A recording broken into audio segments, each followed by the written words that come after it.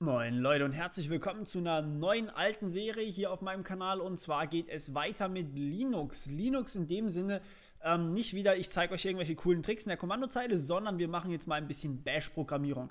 Bash ist quasi die Programmiersprache, eine sehr, sehr kleine Skriptsprache für Linux. Ähm, man kreiert sozusagen seine eigenen Skripts und kann alles machen, was man in der Kommandozeile oder im Terminal auch machen kann. Das ist das Tolle dran. Was wir im Prinzip also Neues machen, ist, wir lagern unsere Skripte aus und können somit mehrzeilige Skripts ohne Probleme durchführen. Also es geht natürlich auch in der Kommandozeile oder im Terminal selbst, aber ähm, ja, es ist einfach angenehmer, wenn man es tatsächlich hier als File hat und dann auch weitergeben kann an andere Nutzer und so weiter und so fort. Gut, ähm, soviel zur Einleitung. Jetzt wollen wir als erstes mal klarstellen, dass ihr auch alle hier richtig seid. Ihr müsst ein Linux-Betriebssystem haben. Welches ist relativ bums, aber ihr müsst auf jeden Fall ein Linux haben. Mit Windows wird das nicht funktionieren. Ganz, ganz wichtig. Und es kann auch eigentlich nicht funktionieren, es sei denn, sie bringen jetzt tatsächlich endlich mal die Linux-Konsole unter Windows, was mich irgendwie stark verwundern würde. Egal. Auf jeden Fall, ähm, was wir machen wollen, ist folgendes. Wir kreieren ein neues Dokument.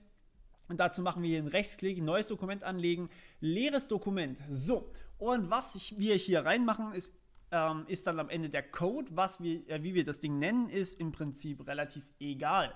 Ähm, keine Ahnung, wir nennen das Ding jetzt einfach mal Klick mich.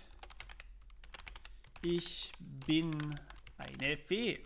So, Okay. Und jetzt einfach mal das Teilchen hier mit eurem Lieblingseditor öffnen. Ihr werdet jetzt wahrscheinlich gerade nicht alles sehen. Ich resize das ganze Ding hier mal. So, okay. Ähm, was wir jetzt hier haben, ist einfach ein leeres Textdokument ohne jegliche Endung. Das ist auch völlig egal, was für eine Endung ihr da benutzt. Linux ist es absolut wurscht, was ihr da für Endungen benutzt, egal bei welchen Files. In dem Fall ist es einfach nur wichtig, dass ihr wisst, was es für eine Datei ist und ihr nachher wisst, wie ihr sie ausführen könnt. Okay, was jetzt hier reinkommt, die erste Zeile ist sehr, sehr wichtig und die muss auch immer so sein. Ähm, ein Hashtag, ein Ausrufezeichen, ein Slash, dann bin und dann Bash. So, ähm, das bedeutet in etwa so viel, wie ihr wollt, dass das hier als Bash-Anwendung ausgeführt wird. Und jetzt könnt ihr hier unten einfach jegliches Kommandozeilenprogramm aufrufen, oder Terminal-Programm aufrufen oder irgendeinen Terminal-Befehl aufrufen, den ihr gerade so im Kopf habt. Also zum Beispiel sowas wie Echo. Echo bedeutet einfach nur ausgeben und ihr braucht hier tatsächlich keine irgendwelche Anführungsstriche oder sowas. Ihr braucht auch kein Semikolon, sondern ihr könnt hier einfach sagen Echo, ich kann fliegen. Okay. Und das sieht jetzt erstmal sehr, sehr komisch aus im ersten Moment. Und ihr seht, wenn ich speichere, dann sehen wir hier schon, aha, es wird automatisch richtig interpretiert und dieses Echo wird farbig anmarkiert. Das liegt an meinem Editor. Ich benutze hier gedit, aber ihr könnt auch Vim benutzen. Ihr könnt es auch von mir aus in der, im Terminal programmieren oder wie auch immer ihr das wollt. Ähm, genau, so, wie führe ich das Ding jetzt aus? Im Prinzip habe ich hier automatisch dadurch, dass ich dieses Hashtag Ausrufezeichen bin bash geschrieben habe, automatisch hier schon das richtige Icon. Wenn ich jetzt hier einen Doppelklick drauf mache und dann passiert aber leider nichts, außer dass ich wieder hier reinkomme. Was ich also machen möchte ist, ich mache einen Rechtsklick drauf und dann öffnen mit. Ähm, da würde theoretisch das Terminal stehen oder ich mache es so, wie man es eigentlich machen sollte, nämlich ein Terminal auf und dann haben wir ähm, die Möglichkeit hier Klick mich aufzurufen und zwar mit Punkt Slash, so wie ihr eine ausführbare Datei aufrufen würdet und dann äh, seht ihr, wenn ich hier zweimal Tab drückt, dann funktioniert es immer noch nicht. Und deswegen ist es wichtig, dass ihr schon ein bisschen was von meiner Linux-Playlist gesehen habt. Wir müssen das Ding nämlich noch ausführbar machen. Wir müssen dem Ding Ausführrechte geben. Und das machen wir wieder mal mit sudo chmod. Ähm, ich mache jetzt einfach mal 744. Und was wollen wir verändern? Nämlich klick mich, ich bin eine Fee.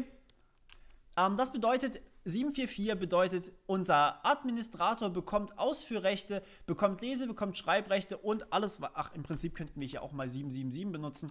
Mal ausnahmsweise, ups, 777 bedeutet, wir kriegen Ausführ-, Schreib- und Leserechte für diese Datei auf jedem Benutzeraccount, da es hier in diesem Fall nur mich gibt, ist alles in Ordnung. Ihr solltet aber mit 777 vorsichtig sein.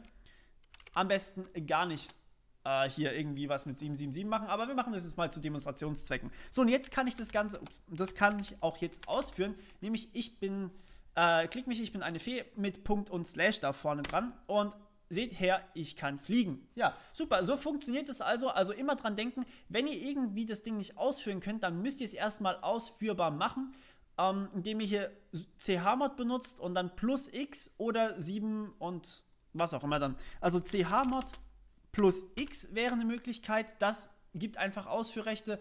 Oder 7 ähm, für den Administrator erstmal, 7 für den aktuellen Benutzer und dann, äh, keine Ahnung, für was die dritte 7 steht gerade. Nicht aus dem Stegreif. Okay, ähm, ja, so funktioniert im Prinzip Bash-Scripting und ihr könnt jetzt hier drin alles aufrufen, was ihr so an Terminal-Befehlen kennt, aber wir werden auch noch mehr kennenlernen, nämlich Schleifen gibt es in Bash auch und das ist ziemlich praktisch. Gut, das war's von meiner Seite erstmal. Wir hören uns beim nächsten Mal wieder. Bis dann. Ciao.